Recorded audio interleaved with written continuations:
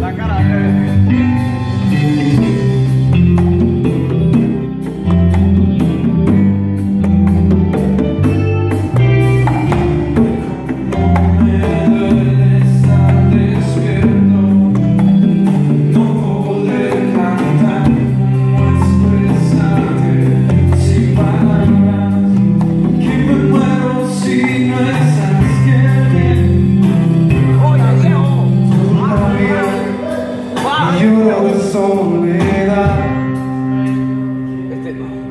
Di Pascaera